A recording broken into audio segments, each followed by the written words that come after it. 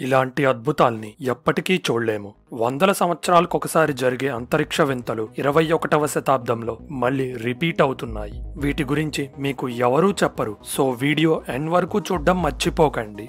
మీకు తెలిసిన తోకచుక్క పేరు చెప్పండి. హేలిస్ కామెట్ అంటారు కదా. ఎందుకంటే అది అంత ఫేమస్ అయిపోయింది. ఇంట్రెస్టింగ్ విషయం ఏంటంటే అది భూమికి తిరిగొస్తుంది. కామెట్స్ కూడా గ్రహాల్లానే సూర్యుడి చుట్టూ ఎలిప్టికల్ ఆకారంలో తిరుగుతాయి. దీన్ని ఆర్బిట్ అంటారు. దీంట్లో సూర్యుడి నుండి అతి దూరమైన పాయింట్ని ఎపిహీలియన్ అంటారు. డిసెంబర్ ఎనిమిది రెండు వేల ఇరవై మూడులో హేలిస్ కామెట్ తన ఎపిహీలియన్ ఫేజ్కి చేరుకుంది.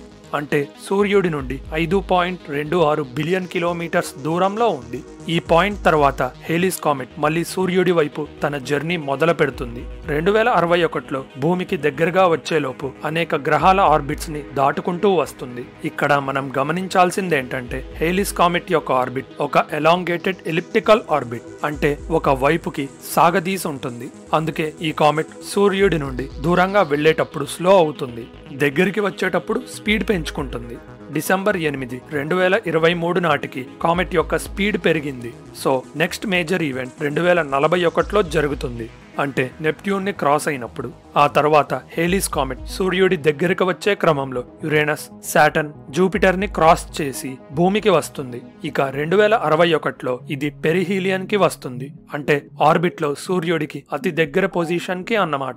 ఆ టైంకి ఒక అద్భుతం జరుగుతుంది. ఆ సంవత్సరం జనవరి ఎండింగ్ లేదా ఫిబ్రవరి స్టార్టింగ్లో నార్థన్ హెమిస్పియర్ నుండి హేలీస్ కామెట్ని చూడొచ్చు. ఆ టైంలో ఒక డైమండ్ల ఆకాశంలో మెరిసిపోతూ కనబడుతుంది.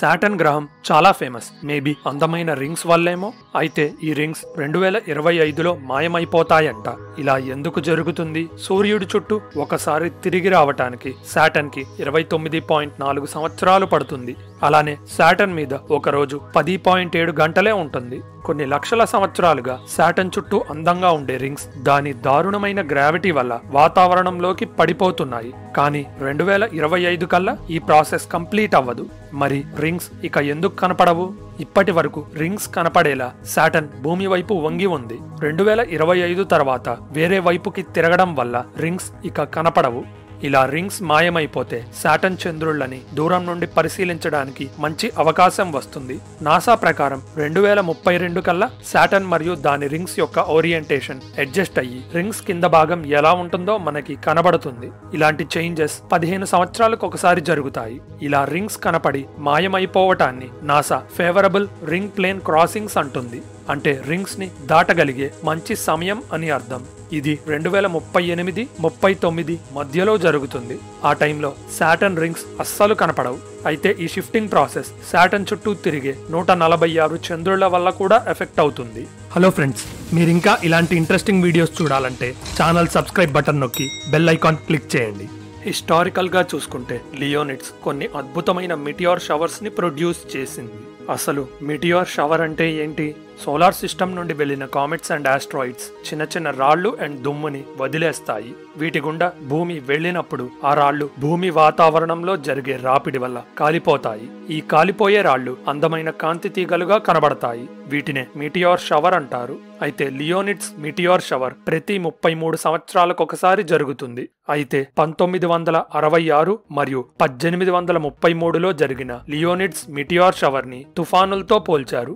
ఎందుకంటే గంటకి కొన్ని లక్షల మీటియోర్స్ వాతావరణంలో కాలిపోయాయి. లియోనిడ్స్ మిటియోర్ షవర్ చాలా అందంగా ఉంటుంది అని చూసిన వాళ్ళు చెప్తున్నారు. అయితే ఆ అందాన్ని పూర్తిగా ఆస్వాదించాలంటే రాత్రి ఆకాశంలో అది కూడా సిటీ కాంతుల నుండి దూరంగా చూడాలి. Leonids meteor shower Leo constellation వైపు కురుస్తుంది. సో రాత్రి ఆకాశంలో దాన్ని ఈజీగా గుర్తుపట్టచ్చు. అయితే లియోనిడ్స్ మిటియోర్ షవర్ని చూడాలంటే డైరెక్ట్గా లియో వైపు కాకుండా దాని చుట్టుపక్కల ప్రాంతాన్ని గమనిస్తూ ఉండాలి. క్లారిటీగా చూడాలంటే మాత్రం చీకటి ప్రదేశానికి వచ్చి అరగంట లైట్స్కి దూరంగా గడపాలి. అప్పుడే మన కళ్ళు చీకటికి అడ్జస్ట్ అయ్యి మిటియార్ షవర్ ఫుల్గా కనబడుతుంది. అయితే లియోనిడ్స్ మిటియార్ షవర్ని చూడడానికి స్పెషల్ ఎక్విప్మెంట్ ఏమైనా కావాలా? లేదు అంతా కరెక్ట్గా ఉంటే మామూలు కంటితో చూడొచ్చు. బట్ లియోనిడ్స్ మిటియార్ షవర్ని చూడాలంటే రెండు వేల ముప్పై ఒకటి వరకు ఆగాల్సిందే. అయితే రెండు వేల ముప్పై ఒకటిలో అది కూడా నవంబర్ ఆరు నుండి ముప్పై మధ్యలో దీన్ని చూడొచ్చు. నెక్స్ట్ మాట్లాడుకునేది ఒక గ్రహణం గ్రహణం గురించి. బట్ ఈ గ్రహణం సూర్య చంద్ర గ్రహణం అంత ఎఫెక్టివ్గా కనపడదు. ఇన్ఫాక్ట్ భూమి మీద కూర్చొని దీన్ని డైరెక్ట్గా చూడలేము. అదే మెర్క్యూరీ సూర్యుడికి అడ్డం రావటం. ఈ రేర్ ఆస్ట్రానామికల్ వింతని ట్రాన్సిట్ అంటారు. జనరల్గా మెర్క్యూరీ సూర్యుడి చుట్టూ తిరగడానికి ఎనభై ఎనిమిది రోజులు పడుతుంది. అంటే సంవత్సరానికి నాలుగు సార్లు సూర్యుడి ముందు నుండి వెళ్తుంది. బట్ ఈ చర్యను అన్ని సమయాల్లో భూమి మీద నుండి చూడలేము. ఎందుకంటే ఇది జరగాలంటే భూమి సూర్యుడి మధ్యలో మెర్క్యూరీ అడ్డం రావాలి. అంటే భూమి మెర్క్యూరీ వెనకాల ఉండాలి. అయితే ఈ ట్రాన్సిట్ని చూడాలంటే నవంబర్ పదమూడు రెండు వేల ముప్పై రెండు వరకు ఆగక తప్పదు. ఈ అరుదైన ఈవెంట్కి ఇంకో రీజన్ ఉంది. మెర్క్యూరీ మరియు వీనస్ సూర్యుడి చుట్టూ తిరిగే ఆర్బిట్ భూమి సూర్యుడి చుట్టూ తిరిగే ఆర్బిట్ కంటే కొంచెం వంగి ఉంటుంది. అయితే మెర్క్యూరీ ట్రాన్సిట్స్ మనకి కనపడేది వంద సంవత్సరాల్లో కేవలం ఎనిమిది నుండి తొమ్మిది సార్లే. అంటే ప్రతి పదమూడు నుండి పద్నాలుగు సంవత్సరాలకు ఒకసారి జరుగుతుంది అనుకోవచ్చు. ఇంత రేర్ కాబట్టి సైంటిస్టులు మరియు స్పేస్ లవర్స్ ట్రాన్సిట్ ఎప్పుడెప్పుడు జరుగుతుందా అని వెయిట్ చేస్తూ ఉంటారు. అయితే ఈ ట్రాన్సిట్ వల్ల సూర్య చంద్ర గ్రహణం అంతా పెద్ద నీడ భూమి మీద పడుతుంది అనుకుంటే మీరు పొరపాటు పడినట్టే. లేటెస్ట్ స్పేస్ టెక్నాలజీతో చూసినా కానీ మెర్క్యూరీ అనేది సూర్యుడి ముందు నుండి వెళ్ళే చిన్న మచ్చగా మాత్రమే కనబడుతుంది. భూమి మీద మామూలు కంటికి ఇక కనపడినట్టే. ఇక్కడ ఇంకో విషయం మనం గమనించవచ్చు. అదే మెర్క్యూరీ సూర్యుడి చుట్టూ ఎలా తిరుగుతుందో. ఈ మధ్య జరిగిన ట్రాన్సిట్ నవంబర్ పదకొండు రెండు వేల పంతొమ్మిదిలో కనపడింది. ఈ అద్భుతాన్ని నాసా వారి సోలార్ డైనమిక్స్ అబ్జర్వేటరీ అనేక వేవ్లెన్స్లో రికార్డ్ చేసింది. ఫుల్ మూన్ అంటే పౌర్ణమి జరగడంలో వింతేముంది నెలకోసారి చూస్తూనే ఉంటాం కదా. అయితే full moon on a leap day అంటే ఫిబ్రవరి ఇరవై తొమ్మిదిన పౌర్ణమి రావటం.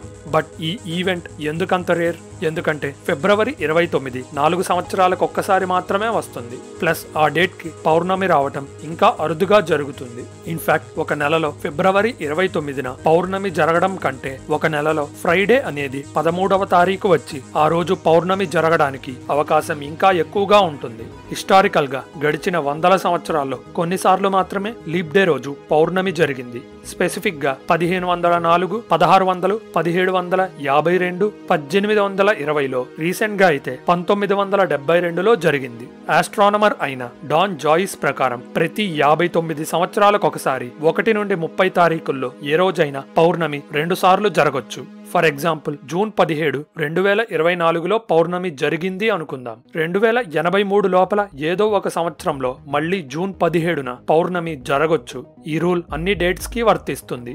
బట్ ఫిబ్రవరి ఇరవై తొమ్మిది నాలుగు సంవత్సరాలకు ఒకసారి మాత్రమే వస్తుంది కాబట్టి అన్ని డేట్స్ లా యాభై తొమ్మిది సంవత్సరాలు కాకుండా ఫుల్ మూన్ రెండు సార్లు జరిగే ప్రాబబిలిటీ ఫిబ్రవరి ఇరవై తొమ్మిదికి ఏకంగా డెబ్బై ఆరు సంవత్సరాలకు ఒకసారికి పెరిగిపోతుంది. దీన్ని బట్టి చూసుకుంటే మళ్ళీ ఫిబ్రవరి ఇరవై తొమ్మిది తొమ్మిదిన పౌర్ణమి ఎప్పుడు వస్తుందంటారు? అది రెండు వేల నలభై ఎనిమిదిలోనే. తర్వాతి యాభై సంవత్సరాల్లో జరిగే ఆస్ట్రనామికల్ వింతల్లో ఇవి కొన్ని మాత్రమే. మరికొన్ని ఇంట్రెస్టింగ్ వింతల కోసం ఈ వీడియో చూడండి. ఇలాంటి ఇంట్రెస్టింగ్ స్పేస్ ఫ్యాక్స్ గురించి తెలుసుకోవాలంటే మన ఛానల్ సబ్స్క్రైబ్ బటన్ నొక్కి బెల్ ఐకాన్ క్లిక్ చేయండి. ఈ ఇన్ఫర్మేషన్ అందరికీ రీచ్ అవ్వాలంటే వీడియో లైక్ చేయడం మర్చిపోకండి. మీ సపోర్ట్ వల్లే ఈ ఛానల్ ముందుకు కదులుతుంది. So thank you for watching this is your Phantom signing off see you in the next one